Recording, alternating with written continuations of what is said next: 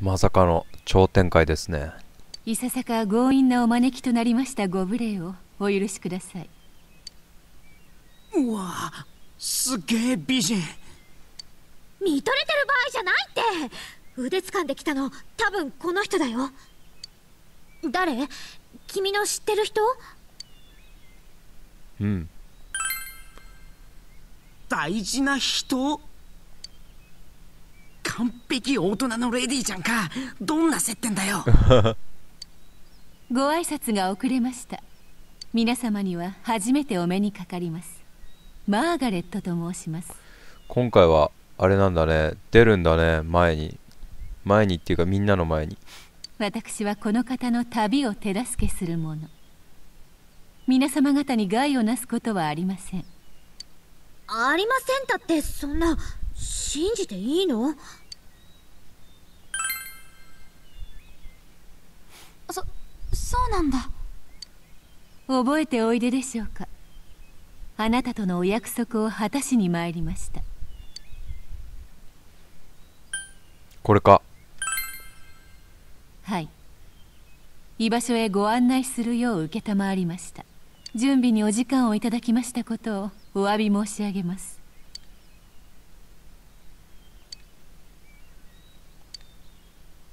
ここはうつろの森。人の心の世界であるテレビの中にあの子が作り上げた閉ざされた領域。私どもの元を去ってからマリーはずっとこの場所に閉じこもっているようです。ん？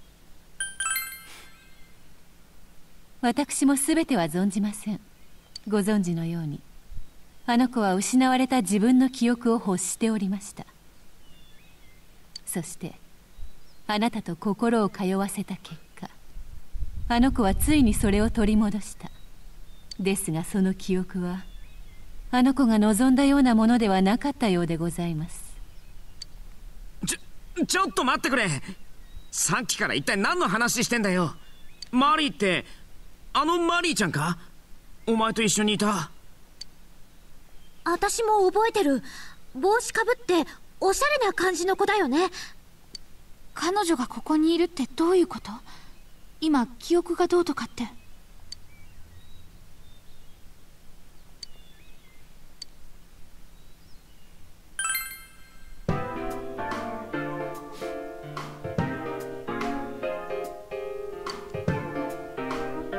マリちゃん記憶喪失だったクマかうん。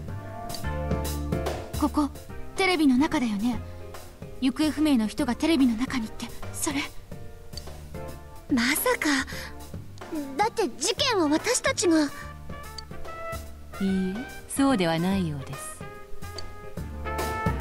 おそらくマリーの失踪は皆様方の追っていた誘拐事件とは関係ないかと。あの子は誰かに連れ去られたのではなく自らこの場所に閉じこもっているようです自分からテレビの中に。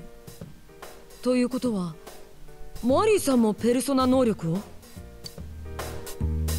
いいえ。マリーはもともとこちら側の住人なのです。お前はどういう子を連れ歩いてたわけ？ねえ待って。ここってテレビの中なんだよね。だったらシャドウだっているんじゃマジかよ。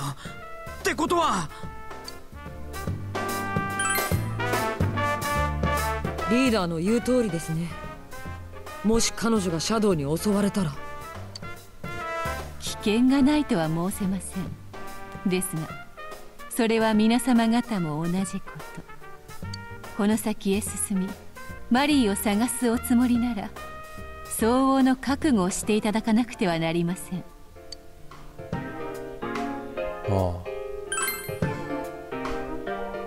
この先の道のりは厳しくあなた一人ではあの子のもとへたどり着くこともままならないでしょう。あなたがあの子との再会をお望みならそれを手助けするのが私の役目。そのためにこれまであなたと旅を共にしてきた皆様方をこの場に招かせていただきました。なるほど。なぜリーダーだけでなく僕らまで引き込んだのか疑問に思ってましたが。やっと分かりました。全て知った上でそれでも行くなら止めないと。さようでございます。もう一つ。まあ深く追求する気はありませんが。あなたもマリーさんと同じくこちら側の存在ということですか？人々の心の中にはシャドウだけが住むのではないということです。先日の戦いにおいて皆様方もご覧になったかと。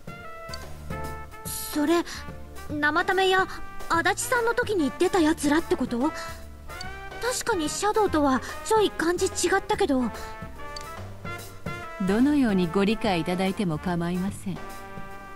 何を見て何を信じるかは全て皆様次第。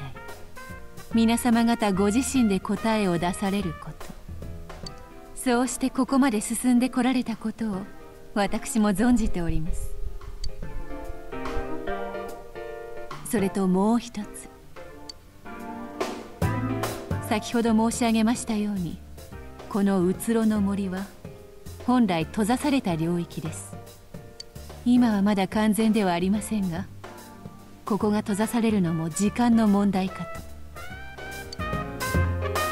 と。それつまりいつまでもここに出入りできるわけじゃないってことか。さようでございます。このうつろの森が完全な姿となるまでどうやらあまり時間がございません。それを過ぎますとこの場所は閉ざされ二度とここを訪れることはできませんそうなればマリーの存在は皆様方の記憶から完全に消えてしまうでしょう。記憶が消える？おいどういう意味だそりゃ。俺らの中から一人でに記憶が消えちまうっつうことかよ。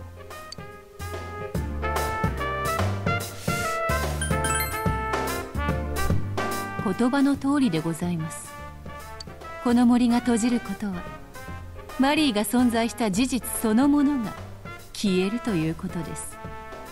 マリーに関わる一切の記憶は消え皆様方は平和な日常生活へお戻りになるでしょう。そんなわけわかんないよ。私は約束を果たしに参上したに過ぎませんどうなさるかは皆様方のお気持ち次第です。先ほど通った山小屋のテレビあの場所をこの世界とおつなぎしました。あの場所からのみこちらへおいでいただけます。のみってジュネスのテレビからは来られないの？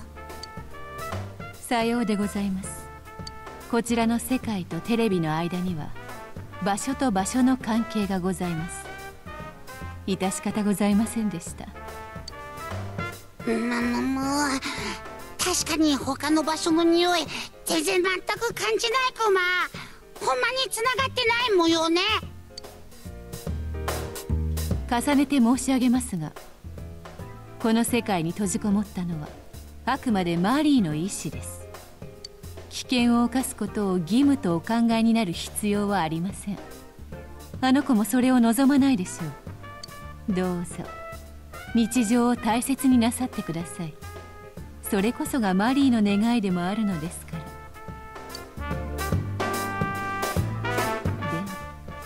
では私はこの辺りにて。あおい待てこら。あじゃねえ。待ってくれおい。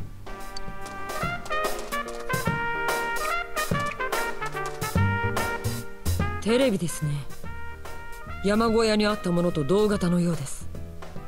クマくんが出すものと同じ。出口ということでしょう。どうすんの？これから。んなの決まってんじゃねえすか。あのマリーってやつこの先にいるんすよね。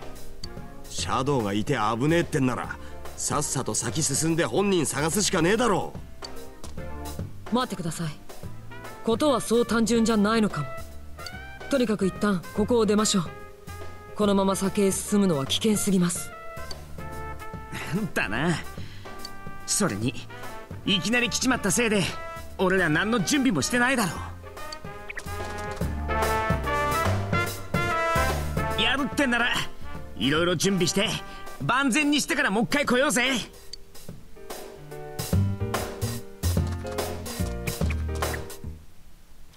うーんなるほど。も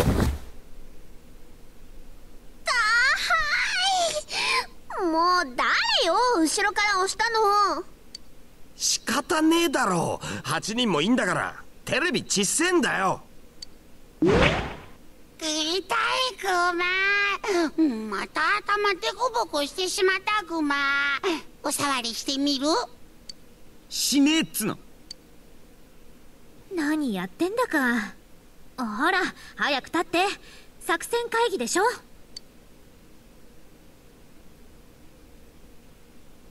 会議って何すんすか？いやわかんないけどいつもやってるじゃんね。まあ意気込みだけだったんだろうな。まあ里中先輩から切れる作戦バシバシ言われても調子狂っすね。うるさい超失礼だからそれ。けど正直驚いたぜ。マリーちゃんがあっち側の存在とかってさ。テレビの中の世界っつうか人の心の世界ってやつっすよね。どうにもしっくりこねっつうか。クマも全然気づかんかったです。はい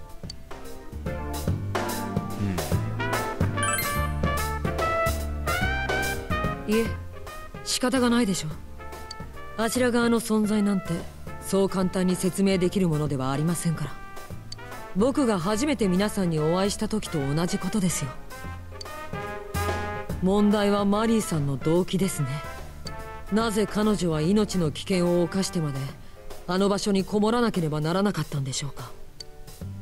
私たちみたいに入れられたならわかるけど自分からそんなことする理由ってなんだろう？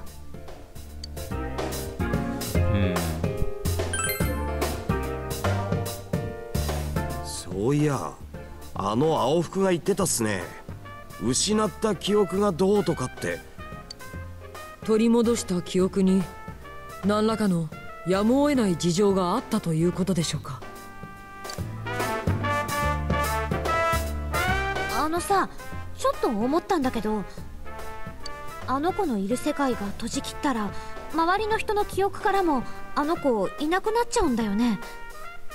それって死んじゃうのと同じじゃない？お前それまさかじ自分でってことかよ。わわかんないけどなんかそんな感じしないかなって私たちに自分のことを忘れさせて一人で死のうとしてるってこと？自分で自分を消しちゃうなんてそんな。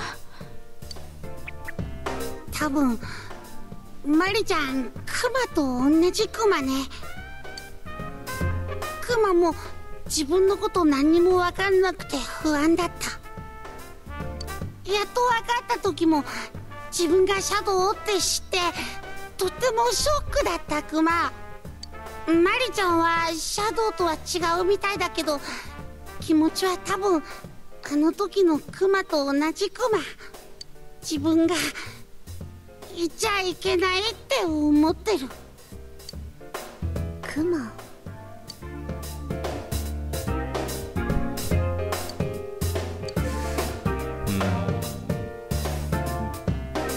頼ろ先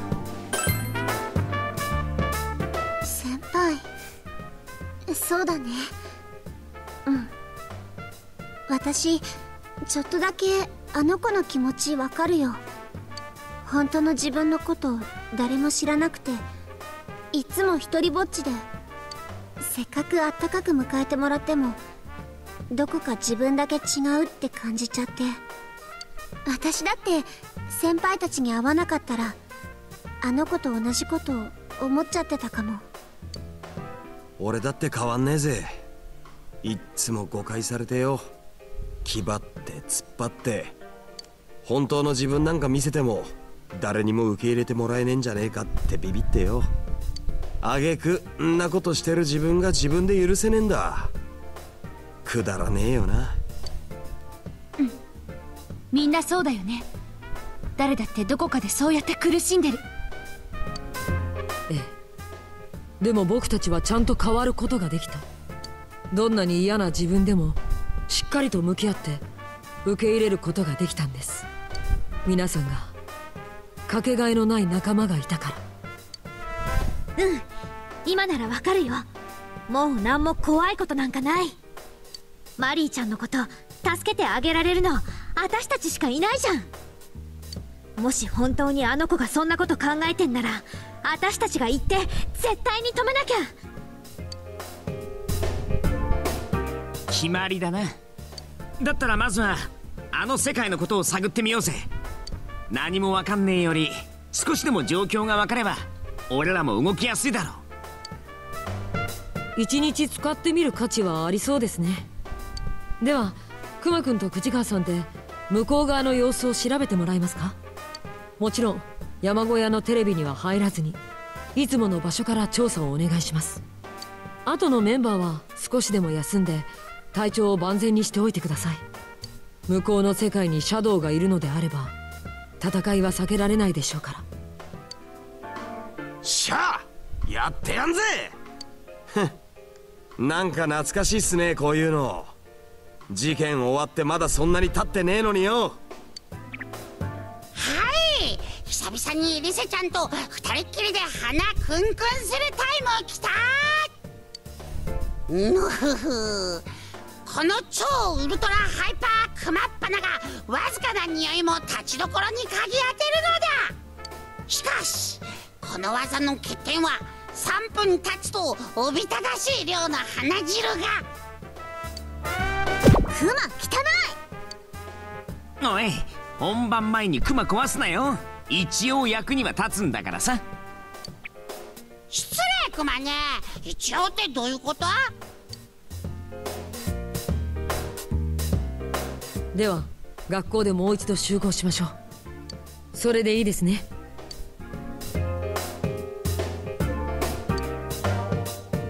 うん。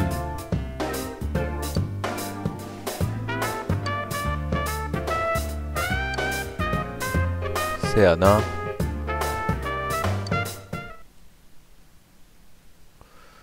ふう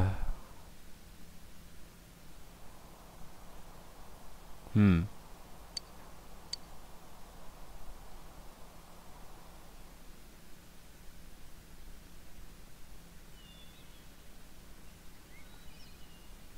ええ。さすがに寒いな。まあいいや。作戦会議始めっか。ではまず僕から報告をあちら側に迷い込んだ人間がいないか念のため館内の行方不明者を調べました。結果はゼロです。捜索願いもなしです。どうやら本当にあの場所は事件と関わりがないようですね。あーずるい。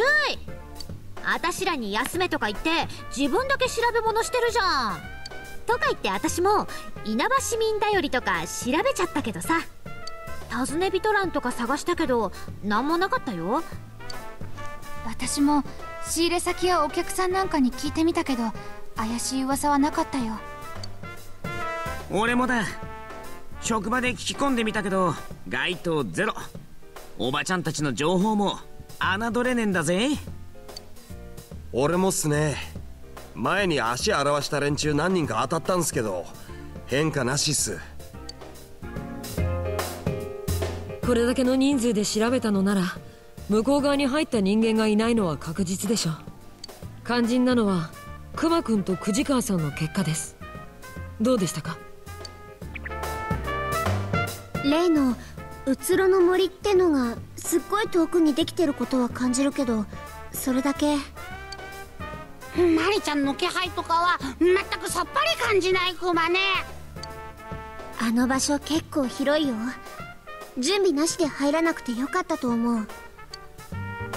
うつろの森だっけ？今回も入った人の心が影響してんのかな？だとしたらあの場所はマリーちゃんの心が作った風景ってこと？っていうかうつろの森って名前確か前の戦いでも聞いたよね。僕も気になっていたんです。雨のさぎりという怪物が言っていましたね人の欲や嘘を望む心に応えて彼らが生み出した場所でしたか。待った。マリーちゃんの心の風景があの怪物の生んだのと同じうつのの森なのか。どういうことだ？だそりゃ。あいつ一体何者だっつうんだよ。彼女を救うのが目的でしたがそれだけでは済みそうにないですね。彼女があの怪物たちと関わっているならなおさら調べないわけにはいきません。彼女が何をしようとしているのか。そして彼女は一体何者なのか。マリーさんに会って直接真実を確かめるしかなさそうです。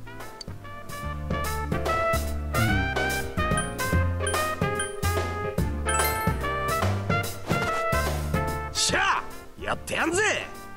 あいつが何者だろうとこのままくたばらせてたまるかよ！その通りクマクマもやる気で燃えるクマむむむよしやったのか。何悩んでんだか知らねえけど必ず俺らであの子を助けてやろうぜ。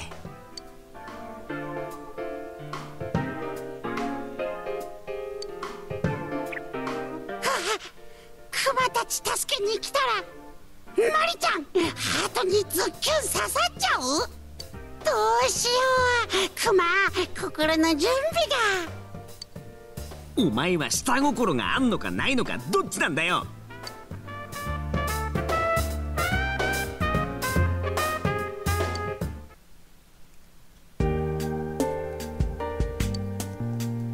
来ましたねこれが最終章。おキツネもちゃんといる。さすが。うん。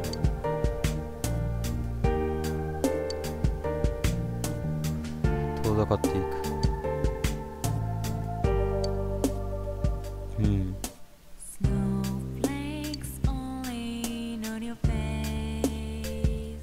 なんとかしなければ。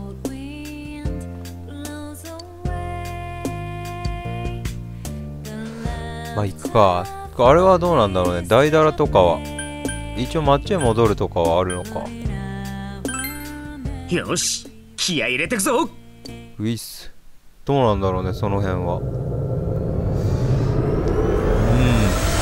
気になる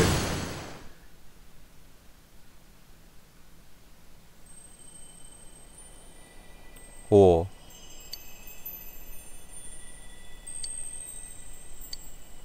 うん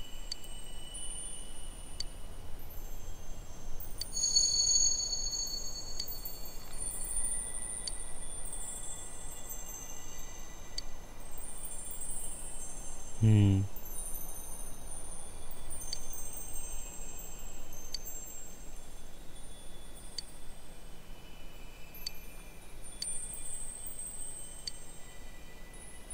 マリーポエム。お動ける。すね。とりあえず、まこの辺でセーブ。えー、っとどうしよっかな。こっちにセーブ作っとくか。